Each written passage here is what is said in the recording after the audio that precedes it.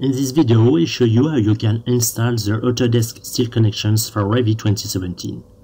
You can download and install the Autodesk Steel Connections for Revit from your Autodesk account. Go to Management tab, scroll down to Revit, and select it.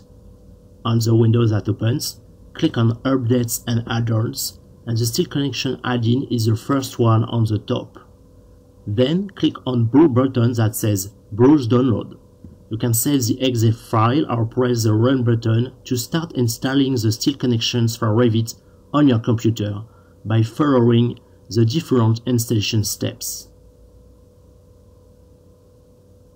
Once the installation has finished, restart Revit 2017 and open the Structural Connection Settings dialog by clicking Structure and then the small arrow under Connection icon. The steel connections for Revit provides access to a variety of parametric steel connections, enabling connections to be modeled with a higher level of detail. If you want to insert a steel connection in your model, just select the members to be connected, click on the connection icon and select the steel connection you want to insert.